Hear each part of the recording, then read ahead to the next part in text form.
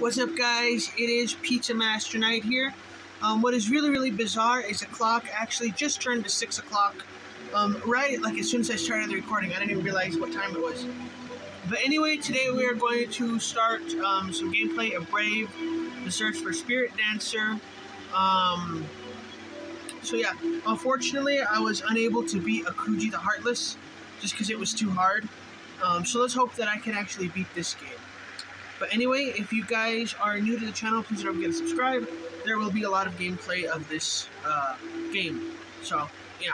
Thanks for watching, and I will see you all next time.